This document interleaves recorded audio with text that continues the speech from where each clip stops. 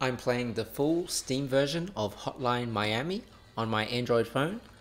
As you can see, I'm using my mouse and keyboard that is connected to my phone with a USB splitter. The game is running on a Windows emulator called GameHub, and this version is 4.1.4.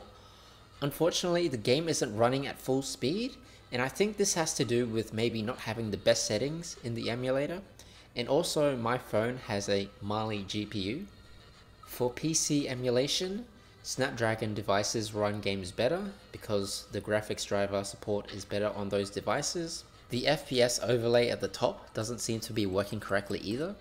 It says that the FPS is 0 and also the CPU and GPU is 0 as well, which is obviously wrong.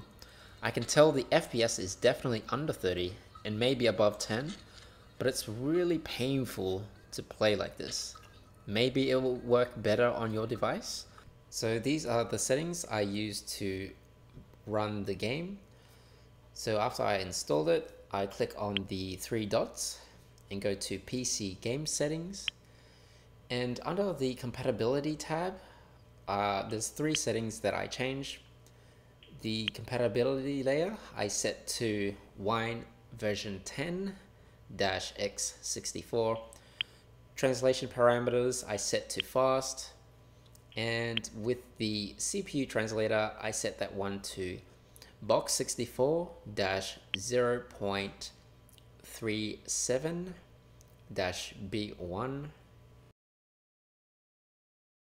Under the components, this is just what was installed by default in the emulator, so I didn't have to change or do anything here.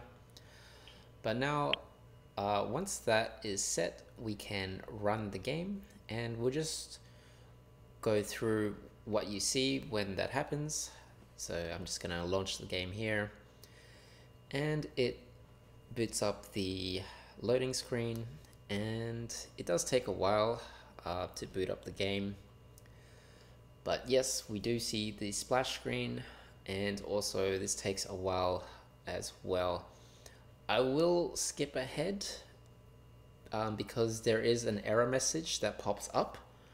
So this is the error message I get, um, but I just press OK and then it'll proceed to load the intro animation and then you'll be presented with the main menu of the game. So that's pretty much it. Uh, let me know in the comments if you tried this out for yourself, especially if you have a Snapdragon device and if it worked better for you. And that's all I have for this video. Thanks for watching and I'll see you guys next time.